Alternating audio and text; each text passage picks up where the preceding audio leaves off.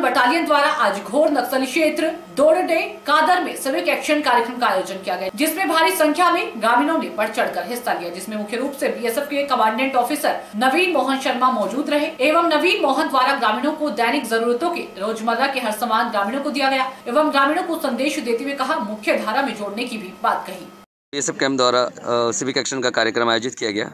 क्या जानकारी सर इसकी? आज हमारा इस साल का ये C O V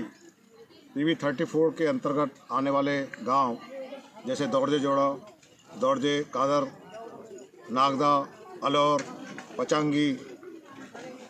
अलौर नेट गाँव इनके गाँवों के रहने वाले बुज़ुर्ग महिला, जवान महिलाएँ, स्कूल जाने वाले बच्चे, कॉलेज जाने वाले बच्चे, उनकी कुछ सहायता करने के लिए हमने उनकी ज़रूरत के सामान स्कूल के बच्चों को लगभग कितने लोगों ने भाग लिया सर इस कार्यक्रम में? आज लगभग करीब साढ़े चार सौ लोगों ने भाग लिया है इन सात आठ गाँवों के। और हमारी कोशिश यही रहती है कि हम किसी भी तरह से जो गवर्नमेंट की सेंट्रल गवर्नमेंट की स्टेट गवर्नमेंट की जो पॉलिसीज़ है उनको उन तक पहुँचाएँ उनको बताएँ कि कितनी अच्छी पॉलिसीज़ गवर्नमेंट की तरफ़ से उनके लिए की जा रही हैं जिससे कि उनका अपने क्षेत्र में उत्थान हो और उनके बच्चे अच्छी तरह से पढ़ाई करें। क्षेत्र के लोगों को क्या संदेश देना चाहते हैं सर? क्षेत्र के लोगों में सबसे बड़ी सबसे पहला संदेश तो ये है कि हम सिक्योरिटी फोर्स वाले हैं, उनकी सुरक्षा के लिए हैं।